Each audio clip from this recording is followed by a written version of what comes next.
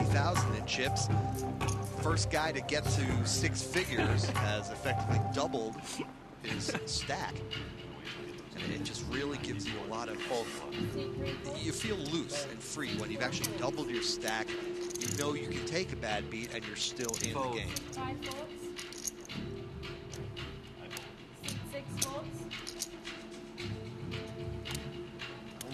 Williamson One Waterman. And Second. I think Waterman loves being on the left of Zach Williamson. He's going to take advantage of him all night. Guys, very calm as you see the heart monitors. Herb Jackson is seven on the flop. Good for Waterman. Check. Seat one checks.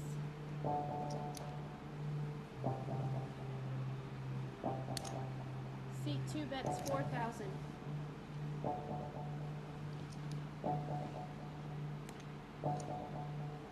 Fold. Seat one folds. Waterman will win this hand.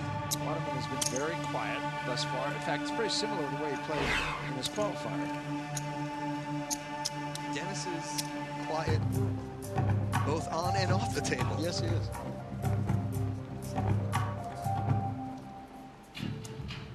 Not easily flustered.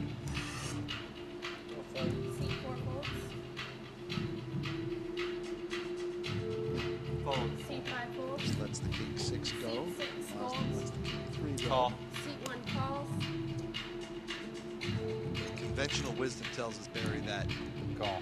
a successful poker player tends Check. to be a tabula rasa, a blank slate who is inscrutable both in victory and defeat. Williamson has caught a pair.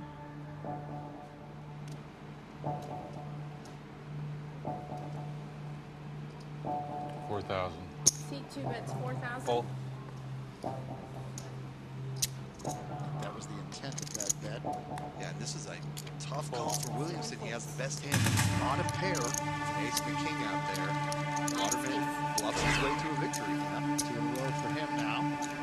We'll get him up to 43,000 in chips. Phipps still our chip leader, 92,000. You may recall, Barry, Dennis Waterman took a lot of chips that were not rightfully his when he won. He, as the blinds went up, he became more and more active, and any time his opponents showed weakness or passivity, he was there ready to bet. Raise and out. Six Thousand, gonna raise it up. Fold. Seat one folds. Fold it. Seat two folds. Fold. Seat three folds. Fold.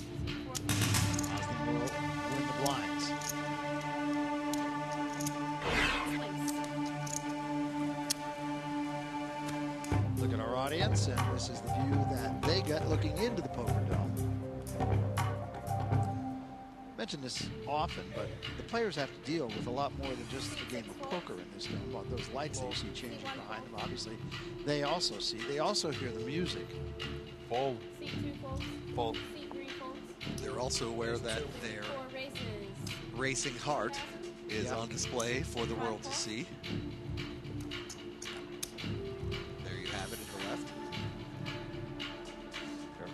For Phipps. And Hall is going to put out an exploratory bet, find out if his opponent made anything on that flop. And he's going to get his answer. Now, by just calling, Phipps leaves the question hanging in the air. Well, does the guy have a straight draw, a flush draw, or did he make some sort of pair? Now, Hall made a pair. That was the worst card Hall could have seen. You're That- not kidding. That's going to get him in trouble. Phipps, along with his top pair, has a gut shot straight draw. He doesn't need to improve, but makes his hand look that much more attractive. These guys, you see their heart r- rates. Want another six? Four bet Hall six is going to bet it. And that's a tiny, tiny bet. That is going to easily be called by Phipps. Bad kick, I'll call you. Think you got me. Is uh, not only catching the cards, he's catching a little luck as well. And he, who went into this hand as our chip leader, will come out of it an even bigger chip leader at 114,000 chips. And Hall down to 21,000. We'll be back.